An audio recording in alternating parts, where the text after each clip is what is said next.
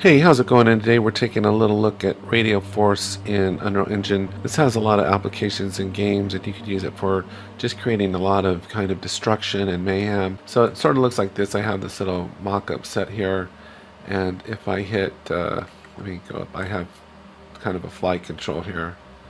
If I hit 1, it applies the force. And it's pretty, it's pretty powerful um, See those boxes flying off in the distance. So anyway, I'll show you how to do this real fast. It's it's not too hard to do. I'm gonna go to the first person template here and just go create and it just takes a minute to load up. General settings we'd like to kind of adjust to our gameplay area and it's I think one of the things is just to get rid of this stuff kind of blocking the way. So just come in here and you can you can select this way in the scene or a faster way is just to come up and uh, outliner and select it, but I can get rid of most of this. These don't have any motion, most of these, so I'm just getting rid of a few of them, the bigger ones. And then what I'd like to do is go ahead and add some starter content to this. So not starter content, but some third person. So we'll just come into add, add feature content pack, and we'll add the third person right here. And that just takes a minute to come in. And then in here, there's a character that's kind of cool. So we can just grab this mannequin here, the mesh. We'll just get the static mesh, Quinn, skeletal mesh, excuse me. And in a second tutorial, I'll show you what more we can do with this particular actor. And then we can actually get a couple of them and just pop them around like this.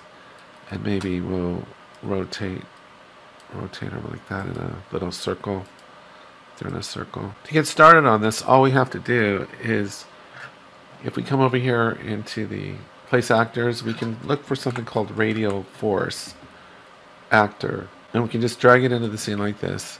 And then if we back away a little bit, back away like that, we can, if it's selected in the details panel, if we come here and we go impulse velocity change and check that box, we can put this at like 5,000 we can start you can adjust these values and under force we can just put 50 something like that.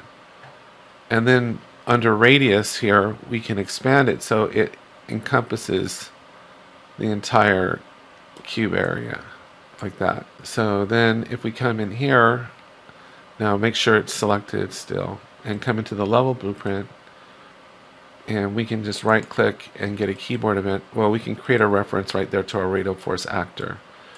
And then all we have to do is get a keyboard press, and we'll just use the number one for this. So every time we press it, we create a burst of energy.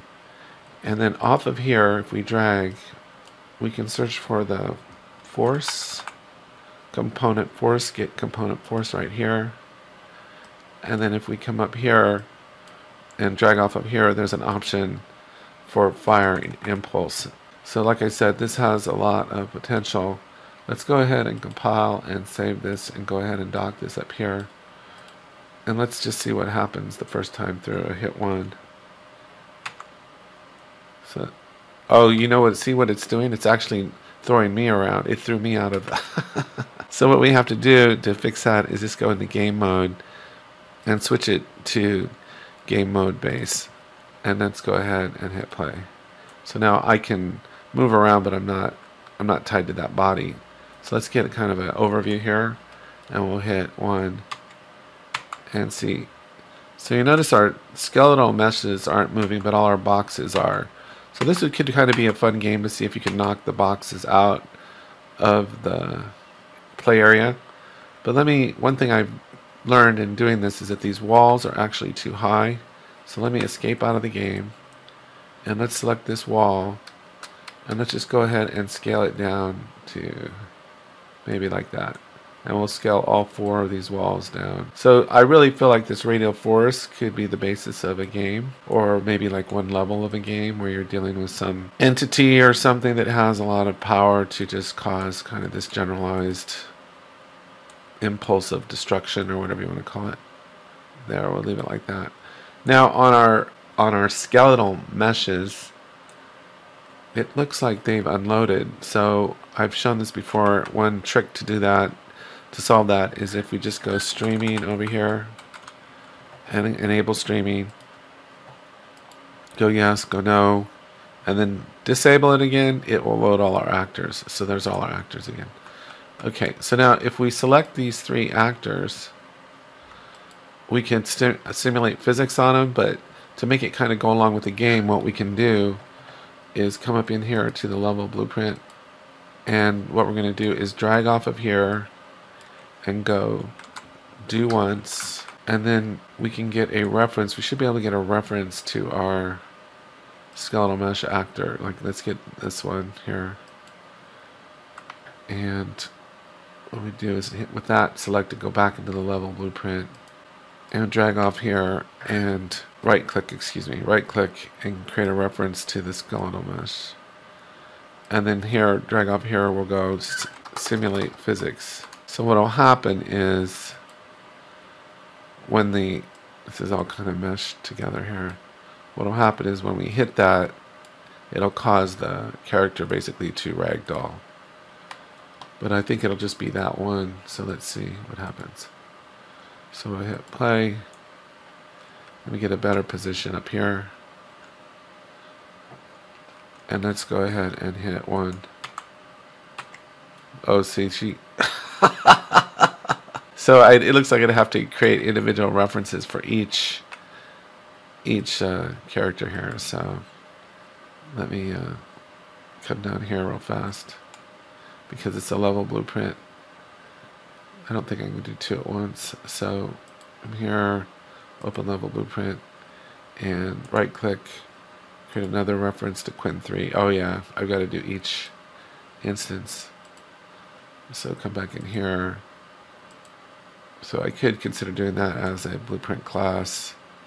So we got these references now. So I should be able just to put these targets in here. Kind of making a little mess here. And plug this one in.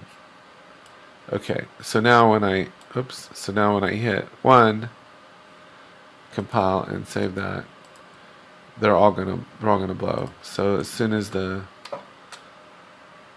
explosion happens, let me, let me come up here in the sky a little bit, back up a little bit more, let me hit one, it really starts bashing them around and then the game could be over once they're all it's interesting because actually it almost seems like they'll go through they'll actually be driven through the static mesh which is really interesting. So look it went through all went through. So anyway that's just a, a quick look at this. I have one more tutorial I want to do on how you could kind of turn this into a little game where once all the meshes are out of the play area then the game is kind of over so that's the initial blast and then after that you can see the power of this thing. It just it really sends stuff flying and literally puts the mesh through the wall. So anyway that's all I had for today. I will uh, check back with you in another tutorial on where else you can go with this